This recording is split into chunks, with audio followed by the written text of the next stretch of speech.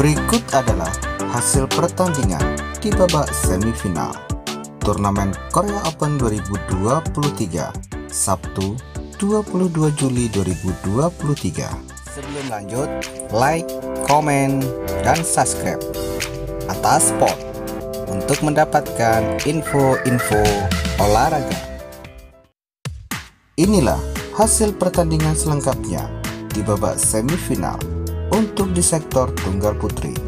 Tunggal putri Cina Taipei, Tai Zuyi berhasil melaju ke babak final setelah mengalahkan tunggal putri Jepang, Akane Yamaguchi. Tai Zuying menang dengan skor 21-19 dan 21-17. Untuk di babak final nanti, Tai Zuying akan menghadapi tunggal putri Korea, An Seyung. An Seyung lolos ke babak final setelah mengalahkan tunggal putri Cina Chen Yufei dengan skor 15-21, 24-22 dan 21-8.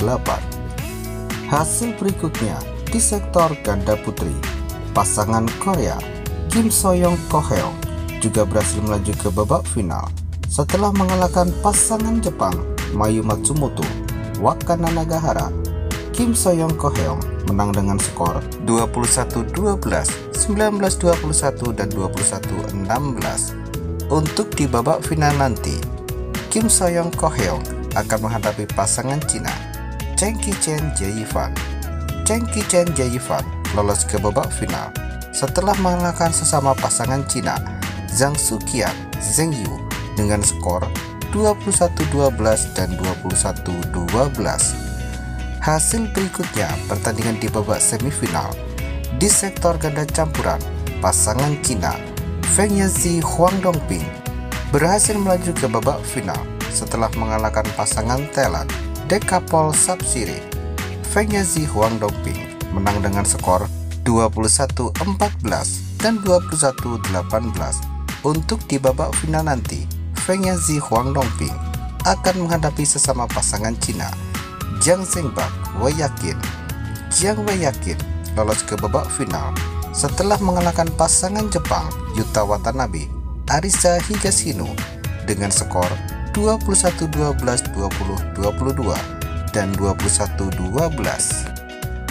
Hasil pertandingan selanjutnya di sektor tunggal putra Tunggal putra Singapura Loh Kian Yu berhasil melaju ke babak final setelah mengalahkan tunggal putra Jepang Kodai Naroka, Loh Kainyu menang dengan skor 18-21, 21-15 dan 21-16. Hasil pertandingan berikutnya di sektor ganda putra, pasangan India Radki Rendi Chirag Seti berhasil melaju ke babak final setelah mengalahkan pasangan Cina Liang Weikeng Wang Chang.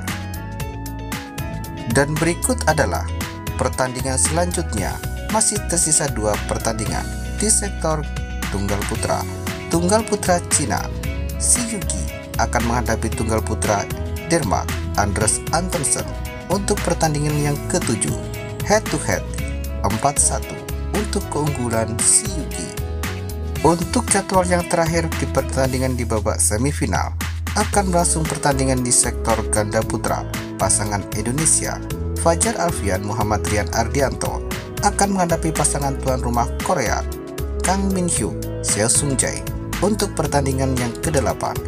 Head to head masih sama kuat 2-2.